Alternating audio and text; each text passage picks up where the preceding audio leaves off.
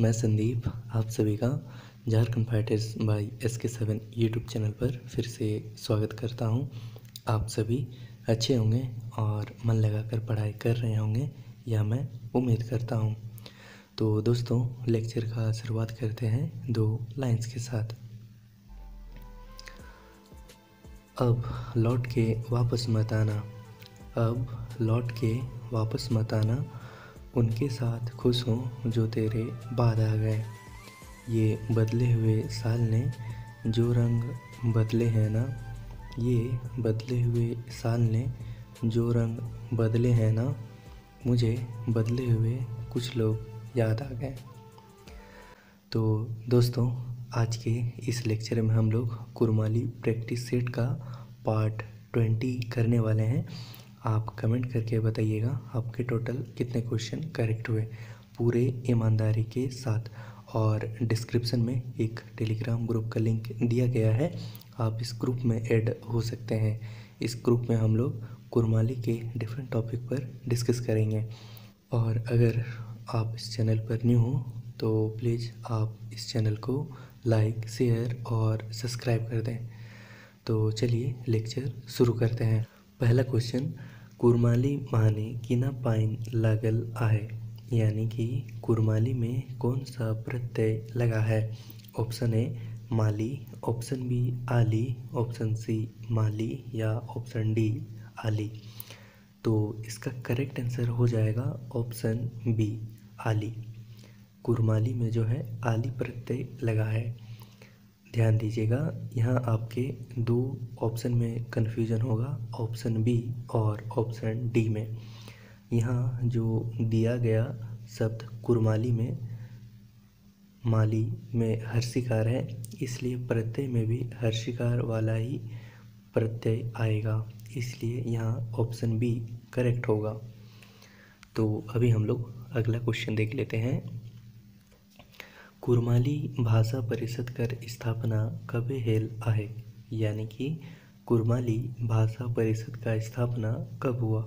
Option A उन्नीस सौ बहत्तर, ऑप्शन बी उन्नीस सौ तिहत्तर, ऑप्शन सी उन्नीस सौ चौहत्तर या ऑप्शन डी उन्नीस सौ पचहत्तर। तो इसका करेक्ट आंसर हो जाएगा ऑप्शन बी उन्नीस कुरमाली भाषा परिषद का स्थापना जो है उन्नीस सौ पचहत्तर ईस्वी में हुआ। तो अभी हम लोग अगला क्वेश्चन देख लेते हैं। कुरमाली भाषा डैश परिवार कर भाषा है। कुरमाली भाषा जो है, कौन से परिवार का भाषा है? ऑप्शन ए आर्य। ऑप्शन बी द्रविड़। ऑप्शन सी आग्नेय। या ऑप्शन डी सवेगिला तो इसका करेक्ट आंसर हो जाएगा ऑप्शन ए आर्य। कुरमाली भाषा जो है, आर्य भाषा परिवार के अंतर्गत आता है। तो अभी हम लोग अगला क्वेश्चन देख लेते हैं। कुरमाली एकटा डैश भाषा है। ऑप्शन ए प्रांतीय। ऑप्शन बी अंतर प्रांतीय ऑप्शन सी भारतीय। या ऑप्शन डी बेस। तो इसका करेक्ट आंसर हो जाएगा ऑप्शन बी अंतर प्रांतीय कुरमाली एकटा अंतर प्रांतीय भाषा है। तो अभी हम लोग अगला क्वेश्चन देख लेते हैं।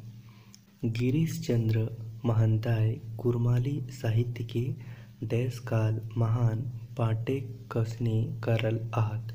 यानी कि गिरीश चंद्र महंता के द्वारा कुरमाली साहित्य को जो है कितने काल में बांटा गया है।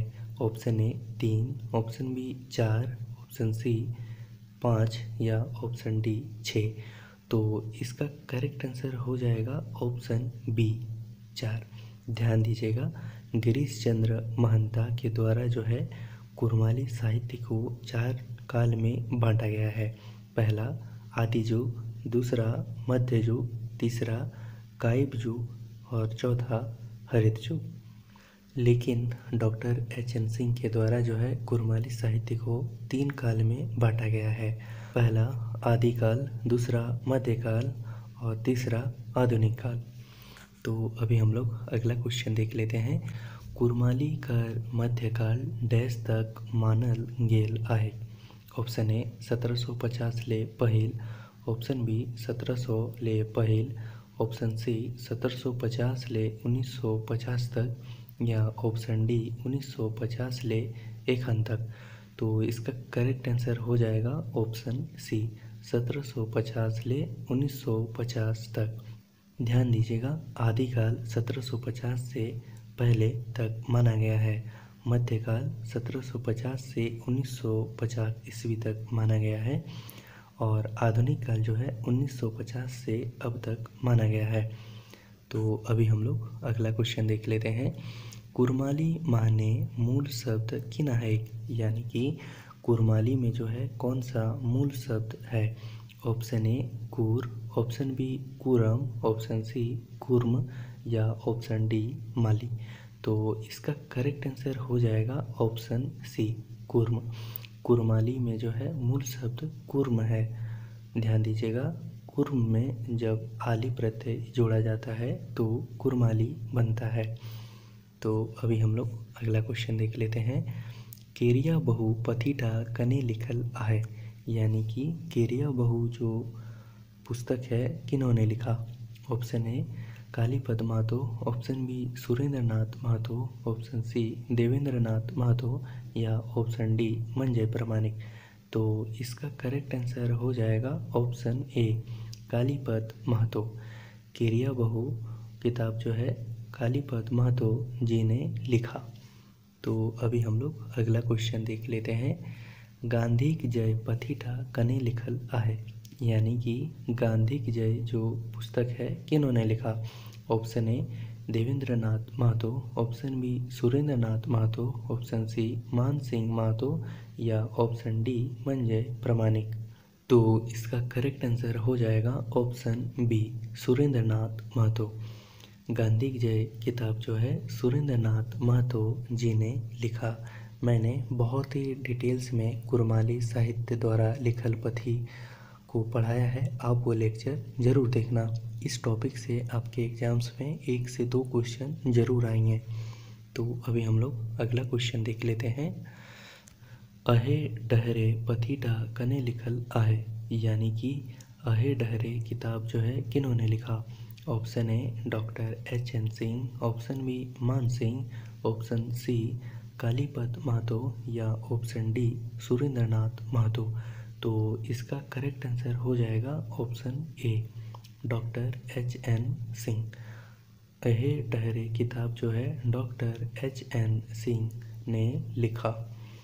तो अभी हम लोग अगला क्वेश्चन देख लेते हैं। फुरुंग पथीटा कने लिखल आहे, यानी कि फुरुंग पुस्तक जो है, किन्होंने लिखा? ऑप्शन ए, डॉक्टर मंजय प्रमाणिक, ऑप्शन बी, डॉक्टर संजय प्रमाणिक, ऑप्शन सी, कालीपत महतो या ऑप्शन डी, कोनो नहीं। तो इसका करेक्ट आंसर हो जाएगा ऑप्शन डी, कोनो नहीं। ध्यान दीजिएगा, फुरुंग जो किताब है, ये केशव चंद्र महतो जी ने लिखा। तो अभी हम लोग अगला क्वेश्चन देख लेते हैं। कुरमाली माने कौनटा दीर्घ स्वर है? यानी कि कुरमाली में जो है कौन सा दीर्घ स्वर है?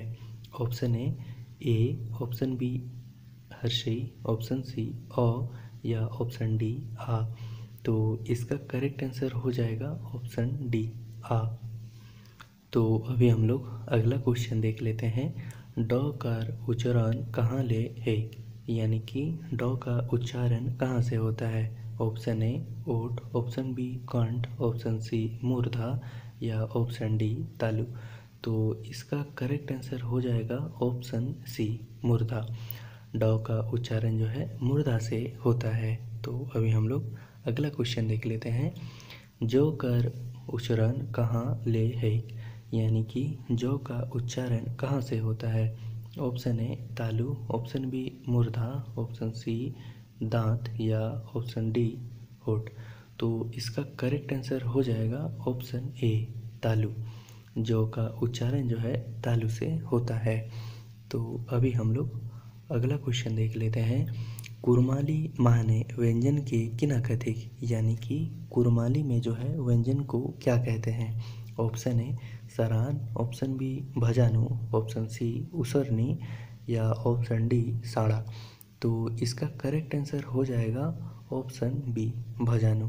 कुरमाली में जो है, व्यंजन को भजानु कहा जाता है। ध्यान दीजिएगा, सरान का मतलब क्रिया, भजानु का मतलब व्यंजन, उसरनी का मतलब स्वर, और साड़ा का मतलब शब्द होता है। तो अभी हम लोग अगला क्वेश्चन देख लेते हैं। कुरमाली माने ध्वनि के किना कहल जाए, यानी कि कुरमाली में ध्वनि को क्या कहते हैं? ऑप्शन ए धमस ऑप्शन बी उसरनी ऑप्शन सी आहना या ऑप्शन डी मोहजरा। तो इसका करेक्ट आंसर हो जाएगा ऑप्शन ए धमस। कुरमाली में जो है ध्वनि को धमस कहते हैं। उसरनी का मतलब स्वर आहना का मतलब लोकोक्ति और मोजरा का मतलब मुहावरा होता है।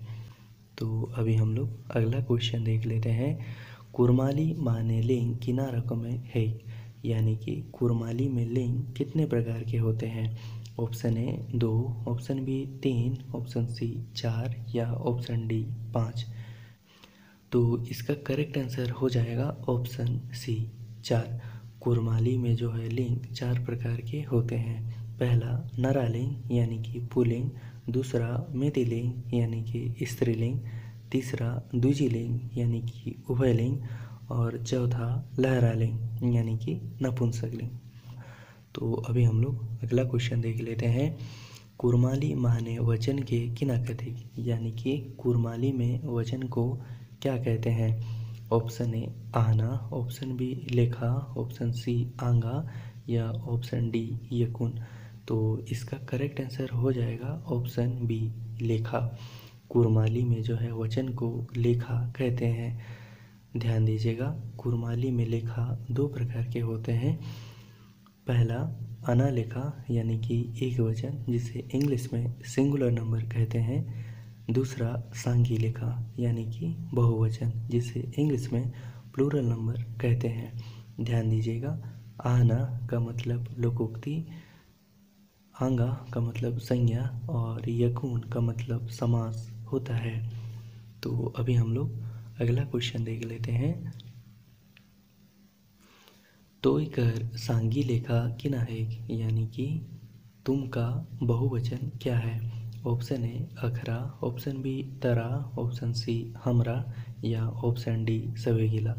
तो इसका करेक्ट आंसर हो जाएगा ऑप्शन बी तरा, यानी कि तुम लोग। तो अभी हम लोग अगला क्वेश्चन देख लेते हैं। जावे कर सांगी लेखा किना है? यानी कि जावे का बहुवचन क्या है? ऑप्शन ए जाओबे ऑप्शन बी जाइहा ऑप्शन सी, जावे है या ऑप्शन डी जायहत तो इसका करेक्ट आंसर हो जाएगा ऑप्शन सी, जावे है। तो अभी हम लोग अगला क्वेश्चन देख लेते हैं। कुरमाली माने आंगा किना रकम एक है यानी कि कुरमाली में संज्ञा कितने प्रकार के होते हैं? ऑप्शन ए, तीन, ऑप्शन बी, चार, ऑप्शन सी, पाँच, या ऑप्शन डी, छः। तो इसका करेक्ट आंसर हो जाएगा ऑप्शन सी, पाँच। कुरमाली में जो है, संज्ञा पाँच प्रकार के होते हैं। मैंने बहुत ही डिटेल्स में आंगा, यानी कि संज्ञा पढ़ाया है, आप वो ज़रूर देखना। तो अभी हम लोग अगला क्वेश्चन देख लेते हैं।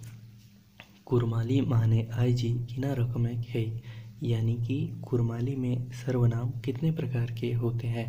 ऑप्शन ए पाँच ऑप्शन बी सात ऑप्शन सी आठ या ऑप्शन डी चार। तो इसका करेक्ट आंसर हो जाएगा ऑप्शन सी आठ। कुरमाली में जो है सर्वनाम आठ प्रकार के होते हैं।